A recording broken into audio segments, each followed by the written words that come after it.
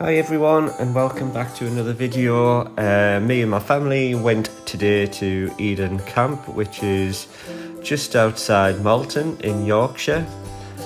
I was here, ooh, must have been about 15, maybe even 20 years ago now and I was excited to see what had changed and also to show my kids what it was what it was like here.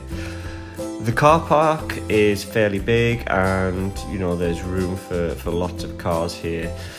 What we did get at the beginning was a map and we were advised to visit each hut in sync. So the huts start in one, you go in one, you come out the other end, you go in the other hut and it's quite easy. You can get sidetracked but it's best to stick to the huts on the, on the map.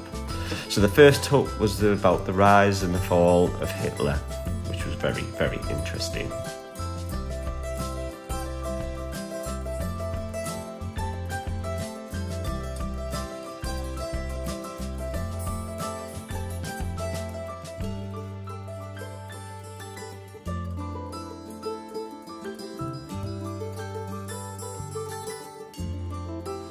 So all of the huts, all of the museum areas have different themes about the war. So from the Home Guard to the Blitz, what it was like underwater in a U-boat.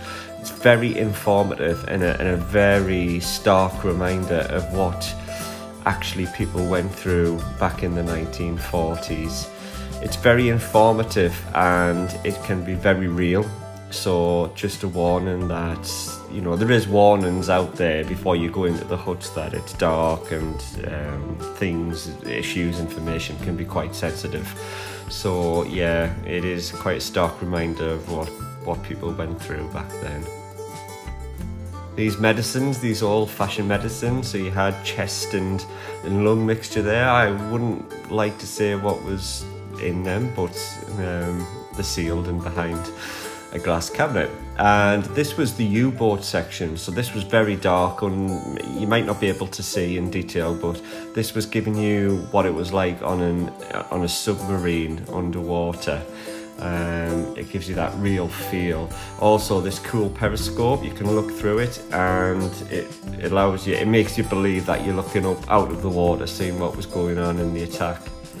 This bit was about the Blitz, about war, bomb damaged houses, what it would have been like. It's quite a smoky area as well, so they fill it with steam and not, not real smoke. But it gives you that, that feeling of, of what it was like. They've put a lot of effort into this place and I was really, really impressed by the detail and all the information that they've got. They've really worked hard at it. And this bit was was really good. This give you um, a, a 3D graphic of what it was like during the Blitz. So a nice blue, calm day with the sky as normal, but then all of a sudden things change. You have the Zeppelins coming over, you have all the German warplanes coming to attack, so it goes from nice and blue to a very dark, smoky, depressed sky with parachutists falling. It's an experience that you need to be there and, and visualise.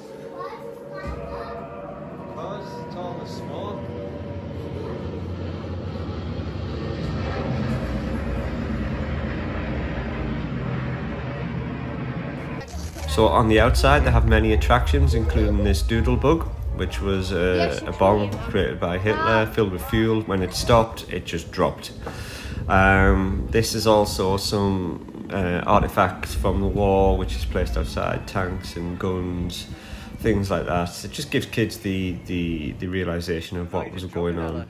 There's also fun activities for the kids to do, uh, various games around the uh, site. This was called Splat the Rats. Um, there was there was other areas there where kids could get involved. There was also ice creams for sale, uh, not at 1940 style prices, I should say, but they were they were for sale.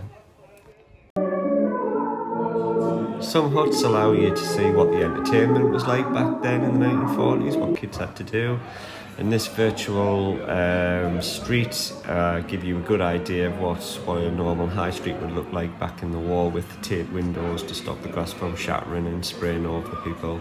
It also let you see what was for sale back then and what things were rationed during the war. Outside there is, is lots to do and lots to see, lots to explore. So it's not just the inside of the huts, it's the general feel. I think Eden Camp itself was a place of um, like a base for army people. Uh, I'm not sure if it was a prisoner of war at one time either, but it has got a history dating back to the war as well. Uh, so quite quite some cool information history. These area shelters again give a stark reminder of what it must be like when you were leaving your house, going to sit in here, not knowing what was going to happen. I mean, this would never have stopped a bomb from hitting you, but it was to protect you from from being from your house being crushed inside. And speaking of bombs, here was a bomb, hopefully not real, and yeah, how how how how life was back then. There is a cool play area. This looked quite new. It looked quite fresh, so I'm not sure if it was just built, but it was quite large. It, it kept the kids entertained for a few minutes. But no, I mean, you, you could play in there for quite a while. There was quite a bit going on. There was various other things that you could do. There was a periscope as well, so kids could could could go from one side and, and look at each other through the other side. So yeah, so this this this was good for the kids. Also on the next couple of clips, uh, there's various staff members around giving you detailed accounts of, of what they do and why they're there, not very information orientated, so I'll let you listen.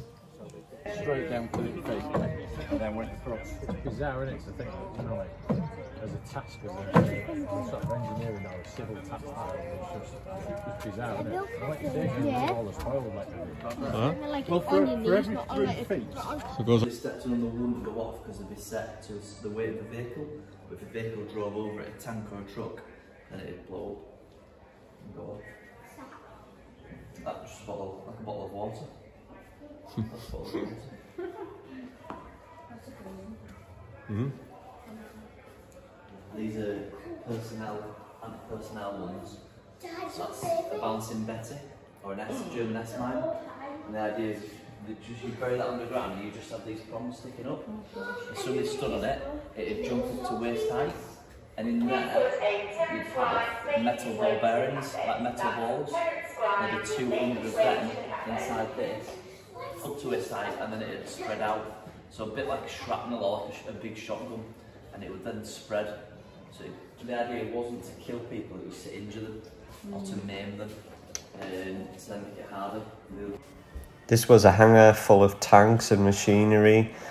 It was just unbelievable. You have to be there to, to get the size of these tanks, the enormous power they must have, and it just gives you a little bit of insight what might be going on in Ukraine at the moment with tanks. I mean, this was huge. This grey tank, um, the the um, the the the weight it must weigh and the armor it must have was just unbelievable to see. And and this was a really good hangar. There was lots to see, lots to do.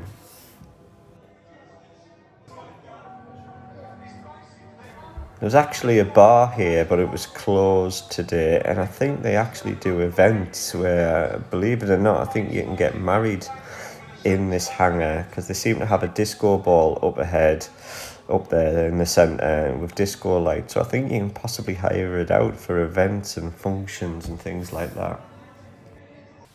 So I had absolutely loads of footage from today and too much to put all in one video. So as always, here is my best bits from this visit. I hope you've enjoyed the video. I definitely recommend going to, to see this place. And again, thanks for watching.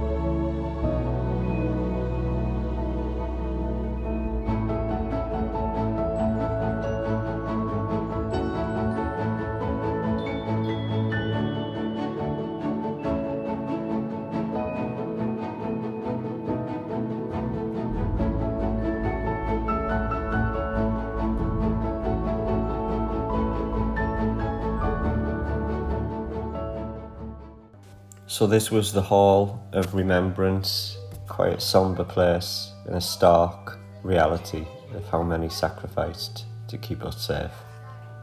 Thanks for watching guys.